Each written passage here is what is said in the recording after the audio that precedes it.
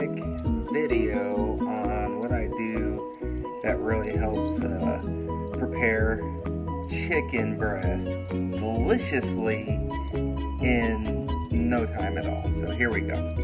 Here I have a generic five pound bag of chicken breast from Walmart that I just took just straight, opened it up, poured a bunch of seasonings in there. I have um, bunch of salt, pepper, poultry seasoning, little Cajun seasoning, um, stuff like that.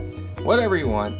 Just poured it in there and then just squeeze sealed it and put it in the sous vide bath at 140 and it was still frozen so I've had this going for about two and a half hours it's well cooked through and all that stuff so it's well cooked through at an even temperature at 140 which is pretty good which is a good thorough temperature for chicken and do a Google search if you want to look up what uh, temperatures for different meats. But 140 I've been really liking for chicken.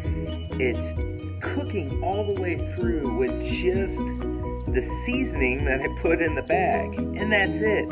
Yes, it's cooking for two and a half or three hours, but it's going from it's going from uh, frozen to fully cooked and during that whole time, this unit is, this sous vide unit is doing its thing. So it's like a crock pot. I just set it and forget it. So next, what I will be doing is taking this out. I'll be drying off the chicken and then I will be putting it in a cast iron uh, pan that I will have roughly the surface of the sun, give or take a few degrees centigrade. And then I'm just going to give it a quick sear on each side, and that'll be it. All right, gang, here I have, again, surface of the sun hot. Got it going in avocado oil, one of my favorite high heat cooking oils. And just giving it a quick sear, not trying to cook it, just trying to get that uh, that outer edge, just of a little crisp to it. And that's it. Not burning it, just that. All right, gang, there you go. There you go. Five pounds of chicken breast cooked to perfection in like what, maybe 15, 20 minutes of actual hands-on time. Are you serious?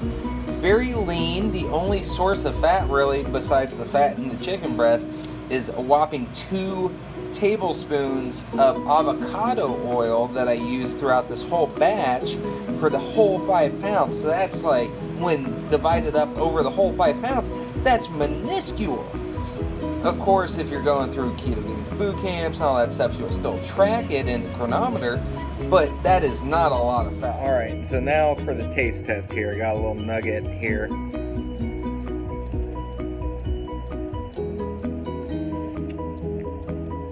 I always hated chicken breast because it would dry out.